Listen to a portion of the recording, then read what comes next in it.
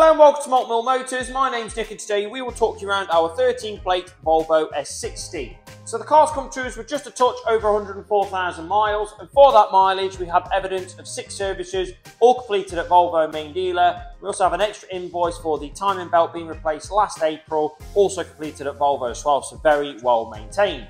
That shows you the condition as there's little to complain about. There might be the odd little minor mark on the exterior, but the interior is very tidy and all, all in all, quite a nice motor.